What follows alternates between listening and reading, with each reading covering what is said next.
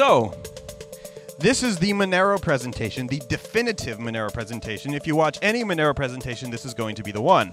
Um, this is not actually. This talk is actually not just going to tell you about Monero and how it works. I'm going to kind of cover some of the basics of blockchain in general. So if you're kind of iffy on the details of blockchain, or you're um, wondering how it's going to work, then this is the talk for you. If you do know about all this stuff already, then this should mostly be review. But it's okay to hear it from another person, a different point of view. Um, that's still okay. You don't have to be all uppity about your knowledge and kind of like, I already know all this. um, so, Monero. Um, as I have come to understand Monero in my past two and a half years in the project, uh, I have seen that there are three big defining pillars that make it stand out from the crowd of shitcoins that exist. Um, as you, most of you know, there is many, many thousands of cryptocurrencies. There are so many cryptocurrencies with all sorts of fun little names. Some of them trying to be cute, some of them trying to be techy, some of them trying to be next gen. But so, what kind of separates Monero from these? I mean, because the reality is that Monero doesn't really have a very big claim to fame. It's kind of boring. It's like, we're like Bitcoin, but we're private yay you know iota's like we're gonna like open the data silos and ethereum's like we're the world computer and you know none of these things have yet proven that they can do the things that they're claiming to do which you know so monero could also say we're going to like open your garage doors. We can claim anything that we want um, just like a lot of these are claiming that they're going to do a lot of crazy things. But monero actually delivers on its promise but it's a pretty boring promise. So uh, we have that going for us which is nice. But uh, i'm going to kind of cover these three pillars uh, that I think Monero, um, particular, these three things really help Monero stand apart from the crowd. And in so doing, as I cover these pillars, we're going to kind of talk about blockchain in general, learn about all these different things. So it's going to be kind of cool. So these three pillars, as you can clearly see, uh, I don't, I try not to be that guy that just reads his slides verbatim. You know, you have a bullet point, you have five bullet points, and you read them off, and you go to the next slide, and you read the next slide. So please forgive me for being uh, too on the nose here. But these three pillars are historical ethos, economics, and technology, and we're going to cover each of those uh, in turn. So we're going to start with the ethos. Wait, what are my three pillars? Ethos. Okay, so we're going to start with ethos. What makes Monero, like, what is the heart of Monero? What makes Monero what it is? Um, so, most of you who are here probably know and are aware of this term, but Oh no, this thing wrapped. Okay, so we have we have this term that we call cypherpun with a k at the end over here. But if you put those two things together, it turns into cypherpunk, and this uh, spelled with a ph. So the idea behind cypherpunk is that we try to make social change utilizing cryptography and mathematics because we realize that humans are corruptible. Okay, we realize that humans can not just become corrupt, but can corrupt the things that they touch. And this is true in the realm of politics, this is true in the realm of technology, this is true in the realm of society. Humans can be corrupted and, as a result, corrupt the things that they are involved with. Is this the case with all humans? You know, I'm not going to try to get into ethics or philosophy or religion or anything, depending on where your position on any of things these things are, but every human has the potential for these things. And we have seen good people go bad and bad people go good and all these kinds of things. The point is that there's a variable, there's a level of uncertainty about which humans are bad, which humans are good, and which will become corrupted with, a, with enough power and how much money. So instead of, you know, just kind of being in a constant state of wonder and worry about whether or not uh, corrupt humans are going to corrupt our systems, we decide, what if we take away this attack surface? What if we remove this attack surface entirely to the best of our ability? What if we stop corrupt humans from being able to corrupt systems? How in the world would we do this? So, you know, as an example of how we do this non mathematically, we have our law system. We have some a, a way where we can, uh, you know, sue each other or or things like this, where we can uh, in, do investigations into each other, so we can try to bring the truth into the light. So if I feel that somebody has wronged me, I can take them to court. We have a third-party arbiter there. This person is an objective third party, hopefully, right? And they're able to listen to my arguments, the other person's arguments. They're able to collect evidence, and they're be, they're able to give a verdict. So we don't have to resort to violence because we we can we can do our best to bring truth to light. But even in this system, there is corruptibility. What if you were to get a corrupt judge? What if you were to get corrupt lawyers? Right. So um, even in our best social efforts to try to reduce kind of he said she said situations to uh, utilize objective thir- third parties, these objective third parties may not be all that objective to begin with. Um, So, oh, so that's good moving. I thought it was a different slide coming up next. So we're going to stick here for just a second. So what we do instead is we try to reduce this attack surface with mathematics. This is something where nobody can really say, well, math is subjective at um, I mean, uh, so I'm not going to get into that. But yeah, for the most part, math is not subjective, right? You have 1 plus 1 equals 2. This is the case regardless of your political ideology, regardless of your religious preferences, regardless of any uh, particular viewpoints or worldviews you have, 1 plus 1 equals 2 on a base 10 system. So uh, um, we, we say because there is this objectivity in mathematics, what if we can enforce certain things in society? This gets really, really difficult because how, how do we, first of all, how do we translate this abstract numbers math stuff to human society and relationships and how we work together? And then also, how do we enforce it? Um, so this is where things like Bitcoin come around, and we're going to start talking about how it um, de- develops from cypherpunk ideology. Um, but cypherpunk ideology touches everything that we do as hackers and FOSS people, even though we don't realize it. So um, things like FLOSS, things like uh, this stands for Free Libre Open Source Software, which I'm sure most of you here know. These are things, um, FLOSS and uh, encryption. I think encryption is actually the next slide. No, this is the human attack vector. This should have been. This was what I was expecting to come a little bit earlier. Look. At, oh, I love. I love how none of this works. Um, this is this is fantastic. There's an example S. Um, I do apologize uh, for. You know, I don't have to apologize to you guys for anything. I owe you all nothing, and you're you're lucky to be in my presence. So, so um, we one of the things that we try to do, we, we, do utilize social movements to try to get cypherpunk things going, but we do try, also try to utilize hard mathematics, and we're really going to delve into that with Bitcoin.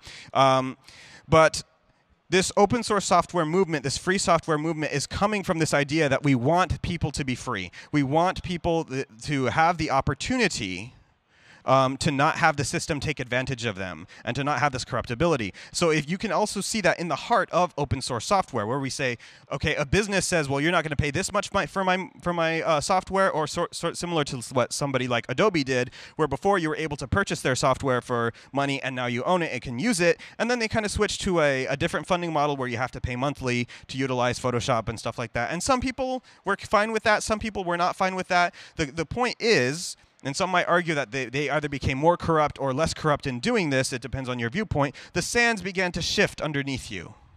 You didn't know what to expect, you did not know what was coming. So, open source software tries to give this level playing field, this level playing field for everybody. Because maybe under the old Adobe system, some people were able to um, afford it and others were not. And under this new system, other people were able to afford it, and others were, are, and others are not able to. Okay, so as things shift, different people are going to be able to do different things. And we, we want to level that playing field. And in particular, this helps marginalize people groups. And I will give an example where um, I was approached by a scammer on Telegram right? And uh, I, I've, I have a lot of fun with scammers, just as I have a lot of fun on the stage. I, I mess with these scammers, you know, I lead them on. I do, I, I have a lot of fun with them. And I actually scammed him into revealing who he was, where he was located. I gave me his picture, and, and I know it's him because I, I had him do a very specific, like, give me your pinky to your cheek type thing, so I know it's actually you. And he, he did it. And so I got all this information out of him, and I offered him a job. Okay, I have a, I have a small design firm. I'm the owner of a small business, uh, and I told him, okay, I will teach you to design. I will teach you to um, to you know, have a real career, and I'll pay you for work. Do I expect it to be good work? Not at the beginning, um, but you know, over time, I maybe you can become you can make something for yourself. This ended up not working out for a variety of reasons, but the cool thing about this was I didn't need to either buy him Photoshop or um, make an investment into this or pay for this monthly or, or have him pirate it. I just had him download GIMP. Is it the absolute best that we have right now in terms of design? No, it's not, but it's free and it's available for somebody like him in Africa in poverty. So this levels the playing field. This levels the playing field for everybody. Now no longer is human corruption an attack vector on somebody's lifestyle, on, the, on their ability to rise themselves from poverty. Now they have an option to learn something and make a better life for themselves. This is the heart of free open source software. It empowers people to live better lives and make better skills and be better versions of themselves. This is why I love this movement. It's got such a compassionate heart at its core. And this compassionate heart is very much present in Monero, and we get when we start to talk about Monero, uh, we'll understand why. So now that I've set that stage for the historical ethos of open source software as a whole, we're going to go ahead and move into the economics. So this is where, if you don't really understand Bitcoin, you don't understand blockchain as a whole. You know what? What is this whole? Um, what is what people keep talking about economic incentives and all these types of things. This is where all of that comes into play. Um, we're going to start here. Value. One of the biggest questions asked about Bitcoin and cryptocurrencies as a whole is there's nothing behind them. What gives them any sort of value? This is a fantastic question, but first we have to take a step back and ask what gives something value ever? What gives anything value? Does anybody have any ideas? Uh, cost? Trust. Okay. Trust. Any other ideas? Demand, supply and demand. Okay. Uh, so I can't be up here forever. So I am not. I'm not going to be able to uh, wait for any more answers. Well, basically, uh, what gives something value is agreement. Agreement. So agreement is this idea that everybody agrees that something has value. It's as simple as that. And, and if that sounds too simplistic, let me give you an example. Let's say uh, you play an online video game, like what's one of the ones from the 90s? There was like Neo, Neopets, right? So you, you play Neopets, and I, I haven't played Neopets, but I, I'm going to pretend that they have Neopets currency. Neopets coin, coins or uh, any sort of currency. And I have eggs, real world something, right? Because I do have chickens, so I have eggs and they lay eggs, and I have two chickens, they lay green eggs. That's kind of cool. So you like my chickens green eggs because you want green eggs and ham for whatever reason. And um, so I, you say, hey Diego, I will give you uh, 10,000 Neopets points in exchange for your eggs. Now, let's say I do play Neopets. I'm an avid fan. I can't get enough. I spend 12 hours a day. I have a real problem, and you're just um, you're just uh, enabling me. I will say, yes, okay, that, that, that makes sense to me. I value these Neopets points. There is agreements between you and I that these things have value. And because of that, I will give you my eggs in exchange. But if I do not play this game and I have no desire to play this game, you know, I'm not a gamer to begin with, and you know, I have other things to do with my life, these, these points have no value to me. So there is no agreement between you and I on value. So it's not going to be exchanged. So that's all good and fine for kind of internet currencies or whatever, but the same is actually true of our fiat currencies in our in our wallets. Euros, dollars, pesos, whatever you use. And it, it does definitely get much more complicated when it's not between two individuals, but in, instead between an entire nation and their governments. And not now in our global world, it's between countries, which gets even more difficult. But we do see this on the on the macro level, but also on the teeny tiny level, where you have a person like, okay, I come from the United States, I have dollars, I need euros. So even though there's kind of an exchange rate that banks and countries agree on that fluctuates day to day, if I go to you and I say, hey, I want dollars because I'm going to be heading back home soon, I don't need euros, you're free to set your own price, and I'm free to say whether I think that's a good deal or not. So there is this this whole thing about agreement that drives value. When people agree on something in mass, this is kind of how we get fiat currencies. Um, although there's a little bit more to it because governments are able to enforce usage of fiat currencies. When I say fiat, if for those who don't know the term, it just means currencies that the government prints, distributes, and uh, recommends, sometimes enforces the usage of. Um, The other big thing is scarcity. Uh, I, once again, I do apologize for the, the weird things going on with the slides, but I think you guys are smart enough to figure this out. The other thing that does drive value, but it ultimately does feed into agreement, is scarcity. The more scarce something is, the more value we attribute it to, uh, we attribute to it. If I have sand, you know, we're at the beach, and I reach down, and I grab some sand, and I say, hey, I will give you this sand in exchange for your eggs. You will reach down and grab your own handful of sand. You say, I am just as rich as you are in sand.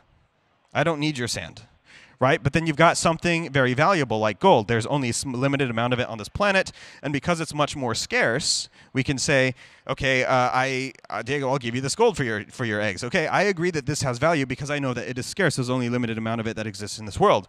Using this, some people also make artificial scarcity, where you can, you know, maybe make a limited run of a certain kind of guitar. There was only 100 of these kind of guitars ever made. Guess what? They could probably make more of that kind of guitar in the factory and you could probably buy another guitar that will play just as well. But because of this artificial scarcity that they've created, they have artificially inflated the value of this kind of guitar. So now that we kind of understand um, what gives something value, and, and, we've kind of discussed scarcity, we need to talk about inflation. Uh, for those of you who don't know, inflation is actually a really simple concept. It's something we hear a lot about, but it's this idea that something was scarce and is becoming less scarce over time. So when somebody, you know, let's say only $100,000 have ever existed in the entire world. But then the government, in order to pay for its debts or to pay for different programs, they print another $100,000. They have doubled the supply. Now all of a sudden, there's twice as much dollars in existence in the world. So every individual dollar is worth less. How much less? Well, that that's it's not as simple as well. It's now worth half as much because once again, there's certain agreements that go on between people, between society at large. This is kind of how inflation works. So now we're kind of getting towards Bitcoin. What I'm talking about all this economic stuff. What does all this have to do with anything? So Bitcoin was made sort of as if you read uh, the message that was imprinted into the first block, of which I don't remember the exact verbiage, but kind of paraphrased, it's this idea that the American banks were getting a bailout from the government. This was happening in 2009. Uh, they were being very irresponsible with people's money. They were giving out loans willy nilly to people that uh, wouldn't normally uh, be able to get these loans, and as a result, a lot of these people weren't paying those loans back. The banks were about to go under. A lot of people were about to lose money. So the government printed a lot of money to get these banks out of debt. And in so doing, they devalued the currency of every single person that owned dollars. So it was like an invisible tax that happened on the American people and anyone else worldwide who held dollars because of the irresponsibility of a, of a wealthy few. So one of the ideas behind Bitcoin, one of the things that helped spur the idea was once again, now we're going to kind of bring it back to the cypherpunk ethos. We said because of the corruptibility of a few humans, many humans had to suffer. How do we reduce the attack surface so that corrupt humans cannot do this to each other again? And the answer was something like Bitcoin. For those of you who don't know, Bitcoin has a fixed supply, and we're going to kind of cover that in just a little bit. How much time do I have? I think we're doing pretty good. Okay, so um, with this idea where we can enforce on a protocol level how many Bitcoins will ever exist. Because with a government, they can print fiat money whenever they want hey, I want another million dollars. Okay, they'll tell the Fed the Fed, Fed will print another million dollars, right? It's not quite as simple as that, but it, I mean, it's not quite as hard as we would hope for these people to be able to print the money. So it's variable how much more money will exist any given year. Whereas with Bitcoin, it says in the code and enforced by the protocol, there will only ever be, I don't remember because I don't follow Bitcoin too much, what, 21, 22 million Bitcoin that will ever, only ever exist, right? And if there is more, if you know, if somebody tries to make more, the other nodes, the other computers that run the software will reject this. They say, no, we only know that there is 21, 22 million Bitcoin that are in existence. So this extra stuff that you have, it's not valid. In this way, we enforce on a protocol level how much there can be that will exist. So if somebody, very wealthy, very powerful, is irresponsible with the way that they handle out their money, there's nobody to come and bail them out. They have to suffer the responsibility of their corrupt actions. In this way, we reduce the human attack vector, we reduce this attack surface for corrupt humans to sink their claws into. Is this making sense? Okay, so blockchains blockchains we're going to kind of discuss blockchains in general um, some people like blockchains not bitcoin um, that this word has become fairly known over the past few years um, i'm going to take a quick quick aside from this economic stuff that i've been talking about to explain what blockchains are and how they work I'm not going to go great into detail. I'm just going to give a, a brief, uh, high level overview of how something like this might work. Traditional, and I'm going to do so by talking about databases and trust. The biggest, if there's one thing you get out of this talk, okay, blockchains, the only thing that they do is reduce trust. Reducing trust. It is just a database. It is just an extremely slow and inefficient database, and it's made to reduce trust. How does it do this? So as an example, okay, regular databases have a system maintainer. They have a database maintainer, somebody who has full admin access to this database. They can go in and they can mess with it and do whatever they want. We we hope that they don't do anything malicious. We in fact we pay people based off how much how trusted they are in the space. Um, if you're a senior um, a senior developer or database maintainer, then you're going to get a lot more because you have a track record of not messing with these things. Otherwise, they can do some pretty messed up stuff. Let's say you work for Amazon, there's a $1,000 TV that you really, really want. You go into the database, you make it $10, you purchase it, and then you go back into the database and make it $1,000 again. So you basically got a $1,000 TV for $10.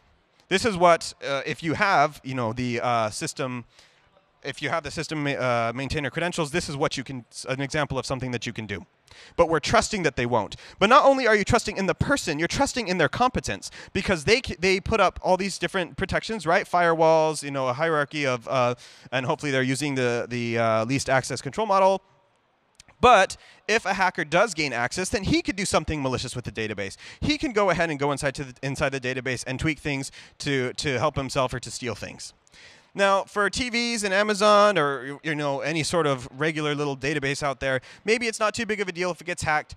But the scary thing is that our money and financial institutions also work on databases. Because so when I go to the bank and I deposit ten dollars, they don't take that ten dollars and put it in the Diego box. And when I come back for that ten dollars later, take out the same Diego box and give me the same ten dollars. Right? They kind of put it in this big pool of money, this this digital nebulous pool of money. And when I come to get ten dollars, they give me somebody else's $10. Somebody else gave them that $10. I don't get the same one back. So if somebody is able to hack into our institutions, into the financial, financial institutions and tweak money, maybe Diego had $10, now he has $1,000, so I can come and take that away. Or if somebody's trying to hurt me, I had 1000 now I only have 10 What happened to all of my money? Right? So we're both trusting in the competence of the uh, people that are securing these databases, as well as the fact that they're not going to do anything themselves. But Okay, so we don't. We got to we got to stay here on the on the database and trust. I thought I had a different slide. Oh shoot, I'm actually out of time. Um, so I'm going to go ahead and speed this up. Uh, what blockchains do is we say instead of trusting one person, what if we give a copy of the database to everybody? What if everybody has the database? Anybody who wants it. In this case, if I change something about me, Diego has one Bitcoin, haha, no, hacky, hacky, hacky, Diego has 10 Bitcoins. And I try to spend those Bitcoins, you guys on your versions of the database, you're like, yeah, but Diego, see, for us, it says that you only have one Bitcoin, not 10. And I checked with my friend, and I checked with my other friend, and they checked with their friends, and they say that you all only have one Bitcoin. So, according to us, you don't have those nine, uh, nine other Bitcoins. We're not going to let you spend them. Okay? Or if somebody wants to hurt me, so they hack into my computer, and they say Diego has 10, haha, no, now he has zero. And I come back home and I'm like, oh shoot, what happened to all my Bitcoin? Did it get stolen? I ask my peers, and they're like, uh, well, according to us, Diego, you still have 10. And I asked my friend, and they asked their friends, and we asked all of our friends, and you still have those 10. It's just your database is out of whack. Okay, I can delete my database and re download it from you guys, and I have a correct version again. And I don't even have to trust anybody. If I download from one person, I'm trusting their, what they're giving me, but I can download from two people and compare. I can download from three people and compare. I can download from the whole network and compare. And in this way, I'm not trusting any single person or any single institution or individual. I'm trusting absolutely everybody, which is the same as trusting nobody in this particular case. I'm not going to get into anything like mining or anything like that. So the last thing I'm going to try um, bring this around to is there is obviously a privacy trade-off here. If everybody knows what everybody is doing because everybody has record of what everybody is doing, then all of a sudden, if one person, person A, gives money to person B, we can see that flow of funds because I have a copy of that. So there is a trade off here in terms of privacy. There is a trade off where now all of a sudden, not only can I see what everybody is doing, everybody can see what everybody is doing. And this is the big thing that Monero became concerned with. When we started looking into something like Bitcoin, we're like, hey, this is really cool, how we're limiting trust. We like the cypherpunk ethos. We like the economics that we're, you know, uh, with, with this kind of this hard cap going on, even though Monero doesn't have a hard cap, but that's another economic thing that we could talk about off stage. But we don't like this privacy trade-off that we have. So Monero came in, and Monero said, we love all these great things about Bitcoin, but this privacy thing is not uh, is not acceptable to us. So we layered multiple privacy technologies on top of each other: ring signatures, ring CT, and stealth addresses in order to hide and obfuscate these things. I don't have time to go into any of them, and I didn't think I would. So if you want more information about the, the technical aspects of how Monero works, then by all means come see me off stage, and we have other volunteers that are going to be able to answer these questions for you as well. But this is the core of what makes Monero uh, very different and very crazy inside of this cryptocurrency space, because a lot of the other cryptocurrencies either don't have the cypherpunk mentality, they're doing this out of the Silicon Valley, Wall Street idea to make money. Um, some of them do, not many of them, but with this idea to reduce attack surface. Some of them uh, don't follow uh, strong economic theory. They just kind of make their own economics up as they go along. And others of them are kind of okay, and this includes Bitcoin, are kind of okay with this privacy trade off, which I don't believe is a sane way to do financial systems in this current world. Um, none of you would just open your bank accounts and post them online for everybody to see or your credit card information, but this is basically what you're doing when you're transacting with a transparent currency. So I am definitely over time, uh, so this is where I'm going to sign off. We've got other great people who are going to be coming up and speaking. Uh, this is the end of my presentation. It says click to end presentation. So I'm going to now transition from presenter mode to speaker mode. We're going to, uh, or to MC mode. We're going to take about uh, five minutes to get the next uh, presenter up here, which is Cheng Wang. Are you in the audience? Yes. No. Are you here? You know, I could have kept going. um, so yeah, we're going to take about five minutes to get him on stage, uh, to locate him and get him on stage. Yes, thank you. You can applaud if you'd like. Uh, we'll be right back.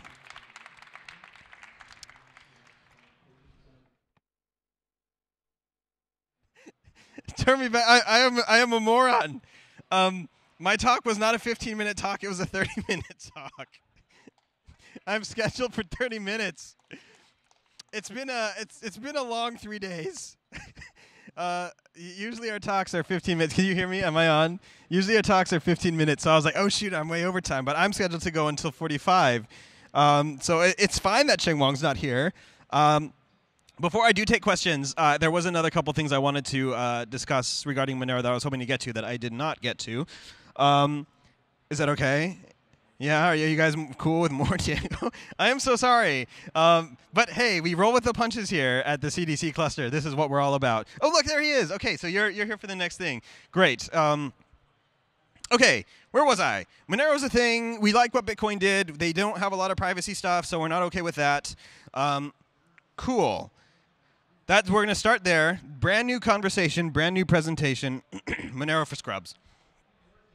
So the way that Monero does this is that uh, we have what I like. We, we have three different things here. We have ring signatures, we have ring CT, and we have stealth addresses, and those hide the sender, the amount, and the receiver respectively.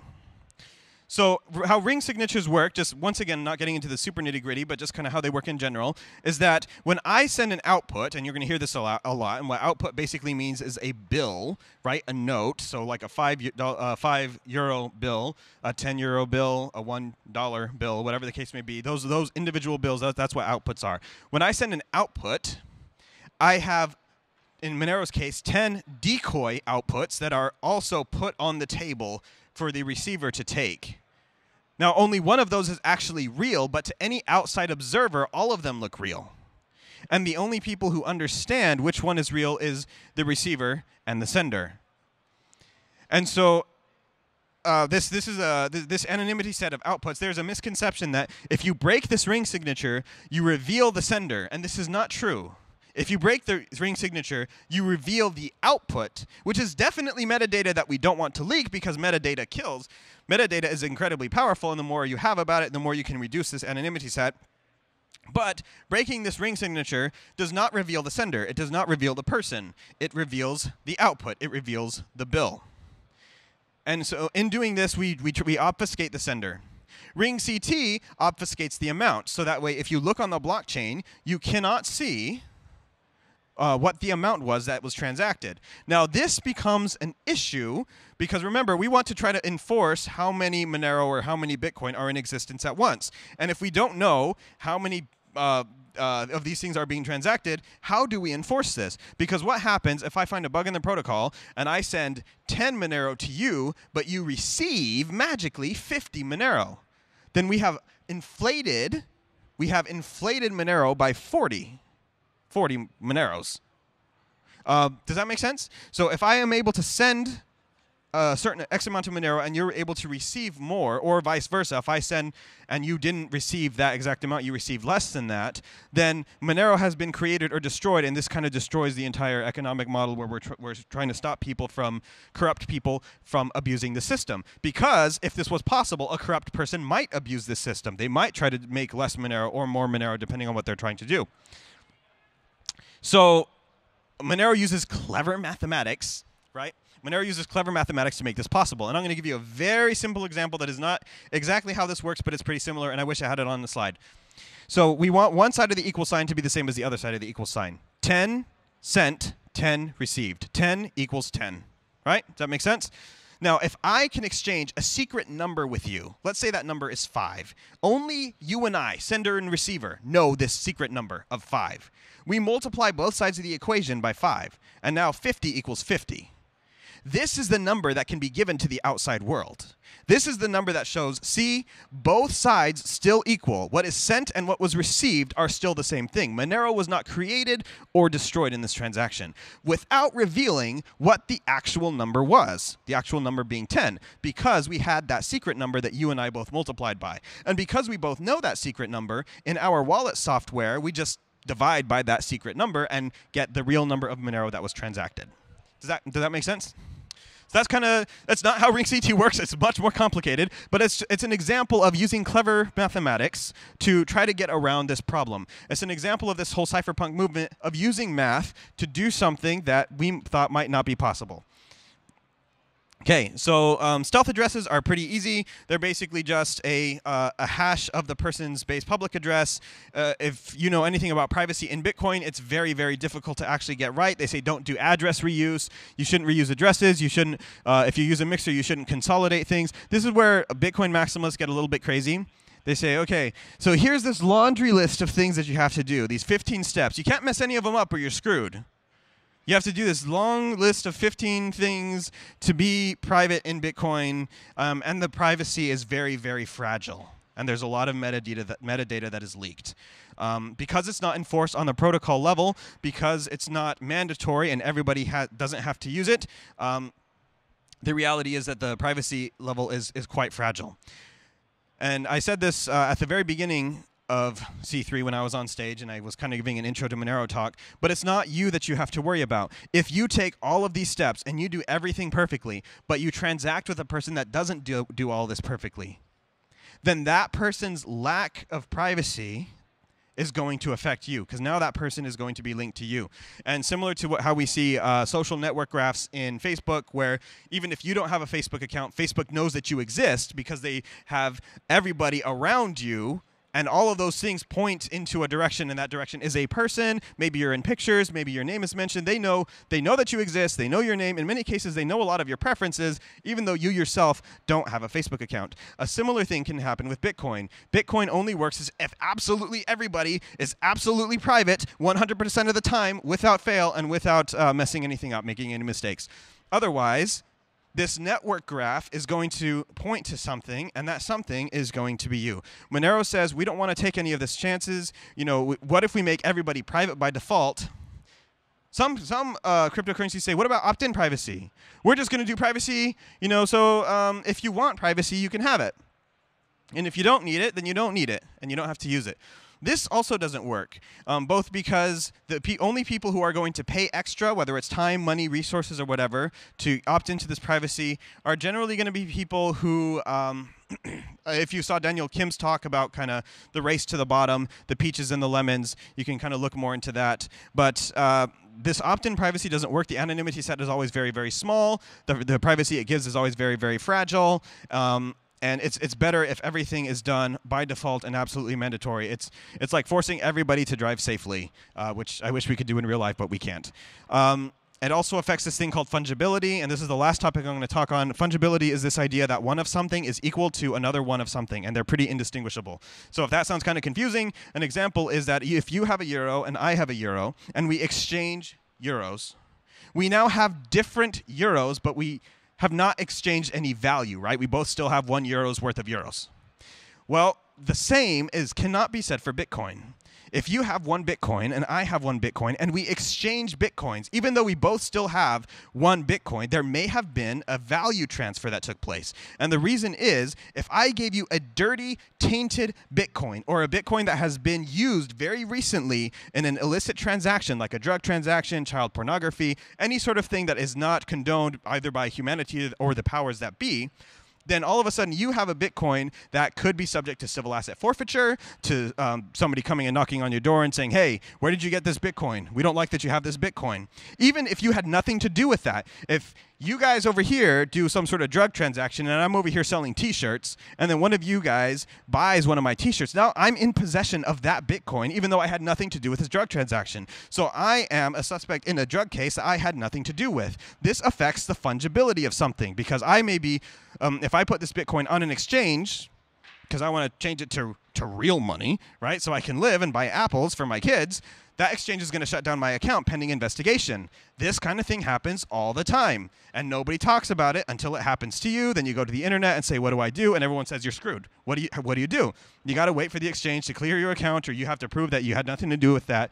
Whereas with Monero, you don't have to worry about any of this. Similar to you don't know where this five dollar bill in your pocket has been. You don't know where it's been. You don't care where it's been, right? You just use it. This is how Monero works because we don't know the history of any of these things we cannot be held accountable for them. So actually, I, as a squeaky clean guy that doesn't do anything illicit or doesn't do anything wrong ever, because I'm just this wonderful bundle of sunshine, I need Monero. A lot of people say only criminals need this level of privacy. No, I need Monero, not because I'm going to do something wrong, but because I want to protect myself from other people that are doing something wrong that could mess with my squeaky clean reputation if I accidentally get mixed up with their money. And this is not something that I have to worry about if I transact with Monero. Um, running short on time. I have one minute, so I can maybe take one question. No questions.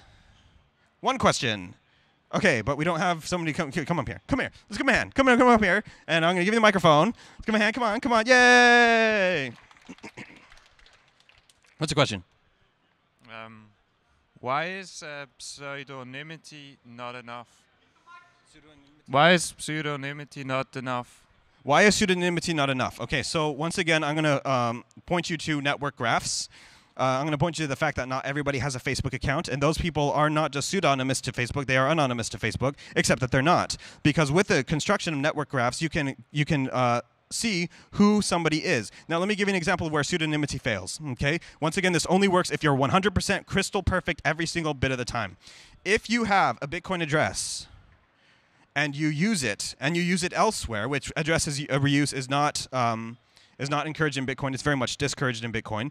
Um, if you reuse an address for two different purposes, that can link those two things. Okay, but even if you don't reuse addresses, the fact that at some point, at some point, either you're going to do something with a KYC AML exchange, or somebody that you transact with is going to do something with a KYC AML exchange, or if we use Bitcoin like it's meant to be used and purchase something from a business, now all of a sudden we can see this business knows who you are, especially if I'm selling t shirts and I have to ship the shirt to you. I know who you are. Outside observers might not know who you are, but I know who you are. Then if the government comes to me and says, hey, Diego, you got to give up this stuff um, because we got this warrant that says blah, blah, blah, blah, blah, okay, so they got a warrant. Here you go. Here's the city. Okay, so they have this list of people that have purchased t shirts from me on May 22nd they look through the blockchain and there's your pseudonymous address. You're right. It's just an alphanumeric string, but now they have metadata to correlate it to. This is the big killer here. Metadata is the big killer here. Yes, pseudonymity is better than nothing,